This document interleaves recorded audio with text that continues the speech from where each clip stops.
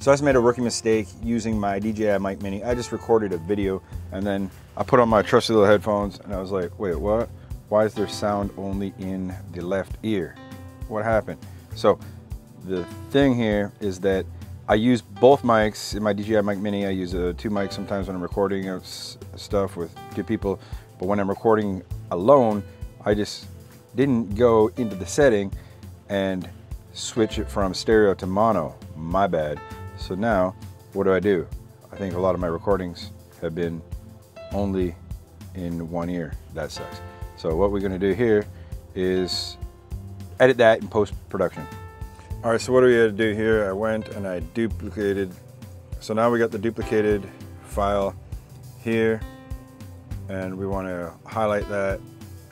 We wanna go up here into the inspector, go down to the pan mode, Let's go to left to right.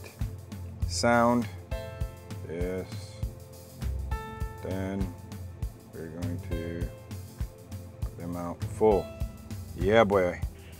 There we go. All right, so let's not make that rookie mistake again. Make sure you have your pair of headphones so that you can check, or else I wouldn't have caught that.